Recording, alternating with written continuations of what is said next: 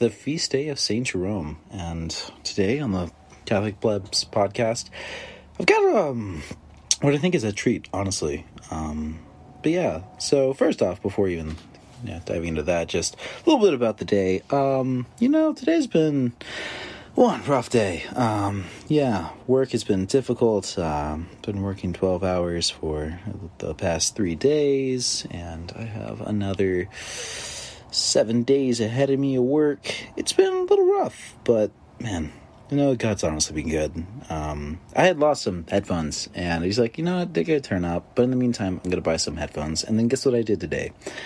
I lost one of the two headphones that I bought to replace the headphones that I already lost. So, thinking about that on the way home, just very frustrated. And on top of like the stress of the day, great way to finish off the day by losing one of my earbuds and just trying to give everything to God's hands. But yeah, just honestly frustrated, listening some, you know, listening to some Linkin Park. Um, and I, uh, yeah, I opened my passenger door to grab something out, and I, I realized I I found my missing headphones from before, and I also found the missing earbud from earlier on today. So I found both the missing earbud and the missing headphones from before. And man, I just couldn't help but really feel that like okay you know me losing my headphones i was pretty confident i was going to find them somewhere because i didn't remember really like leaving them anywhere um, and i am pretty pretty methodical about keeping them in a certain location except for this one time. So i was like you know what? I'm pretty sure they're going to be shown up somewhere but you know i really just feel like god was allowing me to lose those headphones and just waiting. And today was just like such a good day to just like, hey, I know you're stressed, but you still have my love, you know? And that doesn't come in the form of, you know, always getting toys uh, or always getting things, material things, but just like in my language that I have with God, I just, you know, I really felt Him say, hey, I am, I'm with you. I'm with you on this. Even though you're stressed out right now, things are tough. Yeah, here's here's a little treat from me just because I'm extra loving. Um, so yeah, that's how my day is going. It's it's good. I, I need to focus on the good because I can I can even that lose and just allow negativity to overwhelm me and focusing on the bad and not focusing on the gifts that God's given me. But today, Saint Jerome. The reason I'm recording this podcast is because I think there's something really, really beautiful um, and the Liturgy of the Hours for the second reading, which is actually uh, for the prologue of the commentary on Saint Isaiah from Saint Jerome.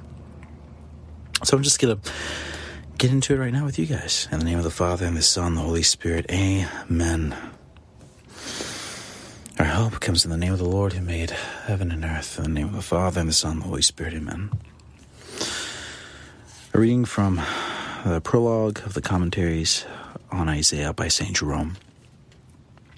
I interpret it as I should, following the command of Christ search the Scriptures, and seek, and you shall find. Christ will not say to me what he said to the Jews You erred, not knowing the Scriptures and not knowing the power of God. For if, as Paul says, Christ is the power of God and the wisdom of God, and if man who does not know Scriptures does not know the power and wisdom of God, then ignorance of Scripture is ignorance of Christ. Therefore, I will imitate the head of the household who brings out of those storehouses things both new and old, and say to his spouse in the Song of Songs, I have kept for you things new and old, my beloved. In this way, permit me to explain Isaiah, showing that he was not only a prophet, but an evangelist and an apostle as well.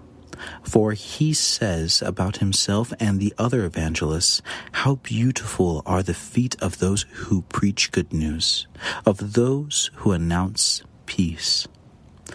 And now, excuse me, and God speaks to him as if he were an apostle, if he were an apostle.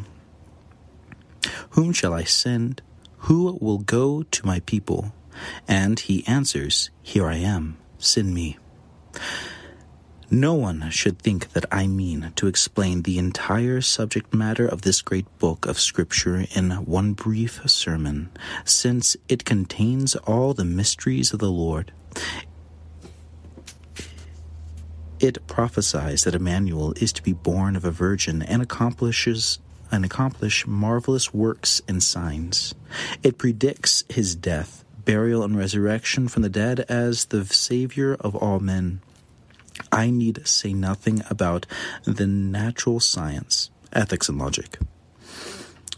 Whatever is proper to Holy Scripture, whatever can be expressed in human language and understood by the human mind, is contained in the book of Isaiah. Of these mysteries, the author himself testifies when he writes, You shall be given a vision of all things, like words in a sealed scroll. When they give the writings to a wise man, they will say, Read this. And he will reply, I cannot, for it is sealed. And when the scroll is given to an uneducated man, he is told, Read this.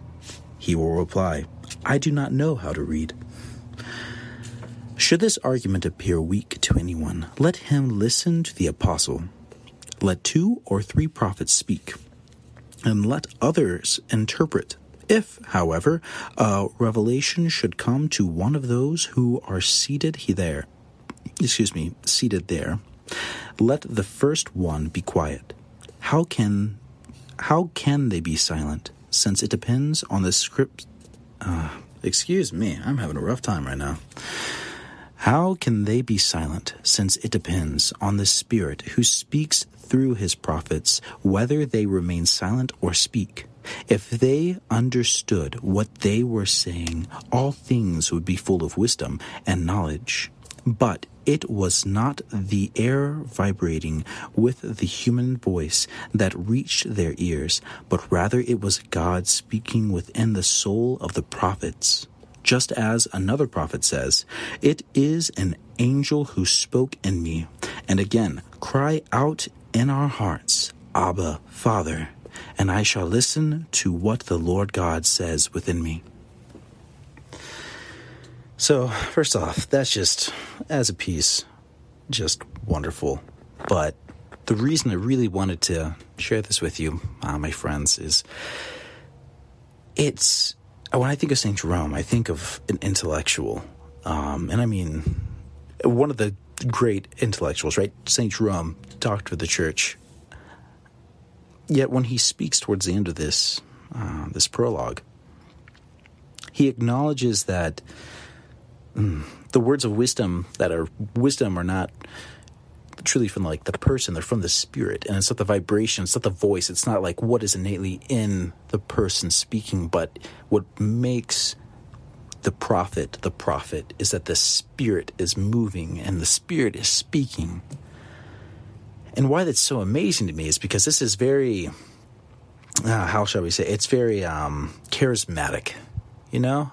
It's you, you think um, you think that these two should be like opposing philosophies. Yet, when you look towards towards the beginning, closer towards the beginning, because Saint Jerome was, I think, born in 340, the year 340.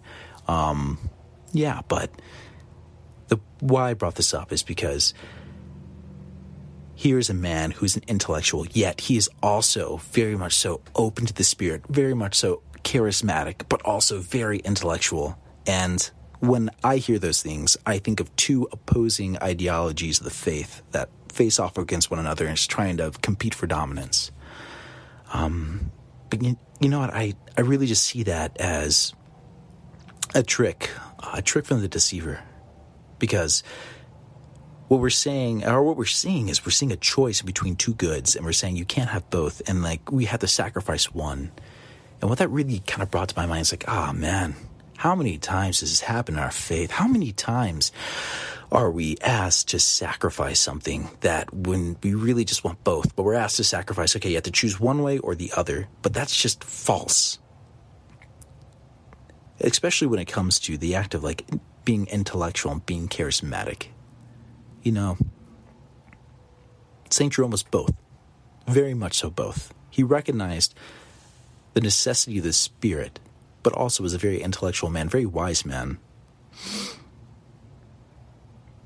But how many how many times in your life have you been told by Satan you have to choose between these two things and you and you you listened and you compromised and you lost something? You know, that's what really spoke out to me today. It's just like reflect, reflect on where the devil has told you a lie and where you've had a compromise. See that um that was a big thing for me when I was coming back in in college was I thought if you're going to be successful at work, you can't be you can't be devout. If you're going to be smart, then you also can't be super athletic. Um, but yeah, it's just like a bunch of like silly compromises that you know may may be really ridiculous to you, but I I believe them. Um, and it was you know only by seeing those compromises and those those false choices that were offered to me, and then like facing those and inviting God into the the healing of that, that I yeah truly began to receive healing. So the thing I'd like to bring to you today is yeah, where are the the times in your life, you know, the devil is asking you to compromise on something good between two good choices, but really, it's not a choice. You you can have both. And yeah, reflect on that. Find it out. Invite God to, for the healing, and know that like you know God is God, right? He can raise sons of Abraham from the very stones, as Jesus Christ says, right? So if He can do that, which is like literally impossible, um, how much more so can He help you back and grow? And not even just grow in the faith, but honestly grow beyond where you were. If you feel wounded, if you feel like you're falling away from the faith, yeah, God, God is God of the impossible. Yeah, He can do anything. He really can. Um, don't don't let yourself limit God's wondrous healing. Okay, so I intended to end the podcast there, and being fully honest, reflecting on what I've said, there's a very important distinction that I really need to make before signing off and just leaving with this message, and that is there are things in which Christ calls us to discern, and He invites us into trust, and that He's going to lead us to the answer. And it is between two goods, but they're exclusive goods, mutually exclusive goods. And I would say they're probably more rare than they are common. And just the easiest one to grasp is, of course, discerning between holy orders and discerning between marriage. And that's not what we're talking about here. Um, what we're talking about is just there are things in your life that God has given you to help you be fully alive. And as you know, Saint Irenaeus is famous for quoting that uh, man fully alive is God glorified. Uh, and that, of course, is you know neither here nor there for just men. It's for obviously men and women too. But yeah, that's what I'm talking about today. The things that it's a gift that God has given you, and you know, you've been asked by the world, demanded by the world, peer pressured by the world, peer pressured by Satan, accused by Satan that you have to let go and that you have to lose a bit of your identity in Christ that gives you that full life.